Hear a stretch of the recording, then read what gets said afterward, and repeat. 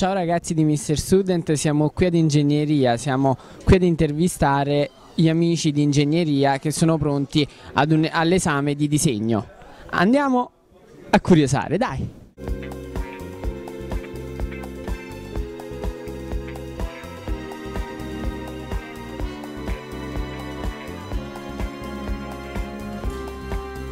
Ciao, devi fare un esame? Sì. che esame? Uh, disegno. Sei agitato? Mm, abbastanza. Com'è questo esame? Um, Come è strutturato? Sì. È strutturato in tre prove, tre, um, tre scritte e un orale. E adesso devo affrontare l'ultimo. Hai ansia? Ma non molto, abbastanza tranquillo. Come speri che andrà questo esame? Spero bene. Ok, grazie. Grazie, ciao. Ciao, devi fare un esame? Sì, disegno. Che, di cosa si tratta?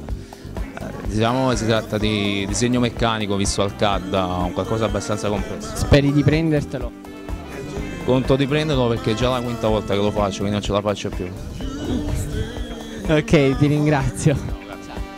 Anche tu questo esame? Sì, 1200 volte. Come mai? Nessuno lo sa. Solo questo non riesco a prendere, pagherei per saperlo. Com'è il professore?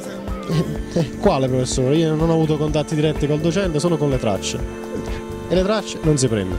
Come mai? Non è reperibile professore? Ma è reperibile tutto, materiale e tutto. Il problema è che lì non si prende la prova. Non lo sappiamo perché. Hai ansia quando affronti questo?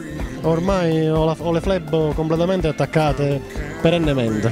Ok, grazie. Di niente. Come definisci il professore? Una persona molto professionale. Sicuro? Sì, sì, sì. E come sono i professori che dovrei affrontare? Esigenti. Da 1 a 10 quando, quando li definisci tra virgolette stronzi? No, dai, non, non si può dire, no, no. Zero. Secondo voi come sono andati questi alunni, i vostri alunni in questo esame? Vabbè, i risultati dell'esame non ci sono ancora, però il vero problema è lo, la differenza, il grosso scompenso che c'è fra i prenotati e quelli che effettivamente vengono a fare l'esame.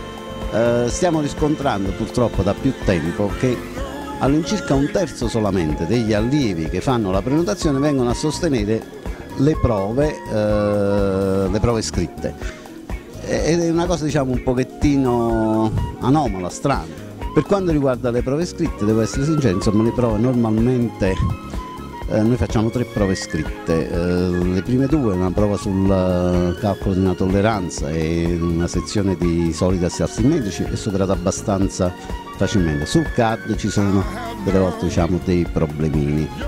Eh, però diciamo, fondamentalmente riscontriamo nell'arco dell'anno che comunque almeno il 70-80% degli allievi riesce a superare nell'ambito, non dico diciamo, diciamo nell'anno successivo all'anno di corso riesce a superare, a, a ottenere, a guadagnare diciamo, l'esame.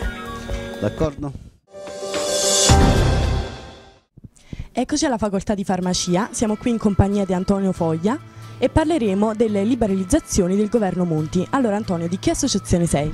Allora, io sono il segretario dell'associazione Iperuranio e uh, oggi vogliamo parlare un po' della liberalizzazione che Monti ha, uh, ha decretato nell'ambito delle farmacie. Noi sappiamo che uh, le farmacie quindi saranno aumentate di numero, la farmacia ogni 3.000 abitanti, quindi in totale a livello nazionale ci saranno 5.000 o 7.000 farmacie, andranno a creare so soprattutto nuovi posti di lavoro per noi farmacisti, neofarmacisti e nessun privilegio diciamo uh, riguardando i farmaci di fascia C, infatti perché uh, come ha detto Monti non c'è nessuna liberalizzazione, quindi nessuna vendita nelle parafarmacie. Non vedo questo, questo giustificato, se vogliamo dire, uh, sciopero anche dei farmacisti.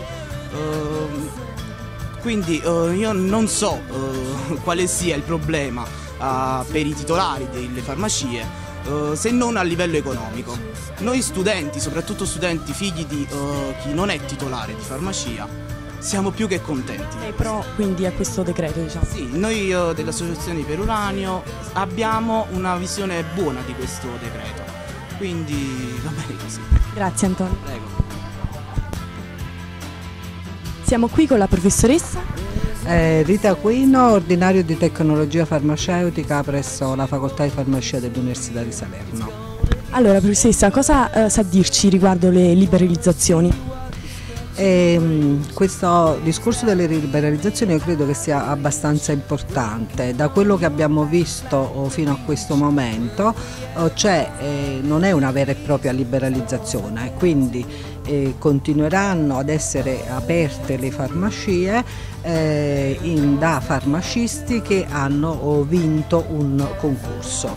Eh, ciò che è veramente importante è che invece eh, dalla eh, legge è stato notevolmente aumentato il numero di farmacie disponibili e stimolati i concorsi che si avranno quindi eh, speriamo nel, nel prossimo anno, più o meno un anno, un anno e mezzo per eh, i tempi che ho sono riuscita a vedere eh, fino a questo momento. Quindi credo che sia molto importante soprattutto per i giovani laureati in farmacia che avranno una grande possibilità eh, di accedere a dei concorsi e quindi di poter aprire una propria farmacia con dei costi tutto sommato abbastanza contenuti perché non, non devono né comprarla ma eh, dovranno naturalmente vincere un concorso. Eh, quindi più possibilità di lavoro sicuramente, ma soprattutto più possibilità di lavoro per i giovani preparati che saranno in grado di vincere questi concorsi. Grazie mille Presidente. Allora guardate, bisogna fare chiarezza sulle cose. I farmaci fascia C in base alla legge sono con ricetta. Esatto. Allora la ricetta può essere spedita solo in farmacia. In farmacia. Non, non- c'è una liberalizzazione, significa che chiunque sia laureato può aprire una farmacia dappertutto. A me sta bene la parafarmacia, ben venga, ha dato tanti posti di lavoro anche ai giovani, ma è un'altra cosa, cioè si vende un altro tipo di farmaco. Finché c'è una ricetta, la ricetta deve rimanere in farmacia. farmacia. La cosa importante, ripeto, è fare concorsi e avere tante più farmacie. Buongiorno a tutti, siamo all'Ateneo per la- l'inaugurazione del nuovo store del negozio Fisciano con il, il nuovo simbolo del- dell'università, Campus Salerno. Andiamo a intervistare il fotore di questo istituto. Siamo qui con il presidente Gianfranco Di Santi, il fotore di questo store. Le vorrei chiedere come è nata questa idea? Allora, L'idea è nata da già da 4-5 anni che l'università aveva bisogno di fare pubblicità al proprio marchio all'esterno dell'Ateneo, visto che già è un campus eh, autonomo, ha diversi impianti sportivi, così la eh, avere la possibilità di pubblicizzare il proprio marchio all'esterno presso altre università. Tutti i prezzi accessibili penso per gli studenti universitari.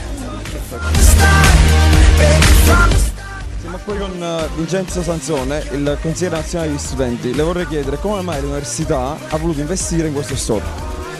Perché per questa università una- una- un principio fondamentale sono i servizi dedicati agli studenti e tra i servizi dedicati agli studenti ci sta nelle migliori università, eh, nei migliori campus eh, europei e oltre eh, oceano ci sono tutti gli store col merchandising del- della stessa università.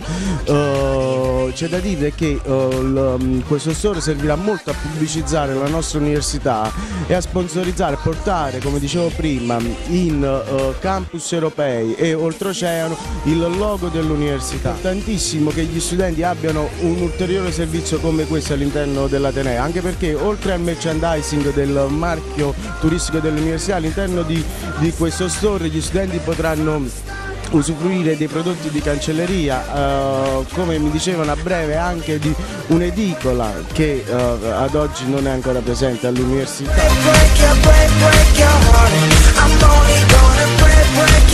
Siamo qui al- con eh, il signor Ciro Di Santi, rappresentante del Comitato dello Sport. Le vorremmo chiedere come mai uno store dell'Ateneo ci siano articoli sportivi. Beh, è ovvio insomma che sia così. Se l'Università di Salerno offre questo servizio, diciamo ovviamente in collaborazione con i ragazzi, il mio augurio, in bocca al lupo all'amico Gianfranco, è un servizio completo insomma, l'idea di campus al 100%, eh, abbiamo gli impianti come le piscine, i campi da tennis, i campi da calcetto e qui ovviamente si trova tutta l'attrezzatura, anche a prezzi modici ovviamente, eh, prezzi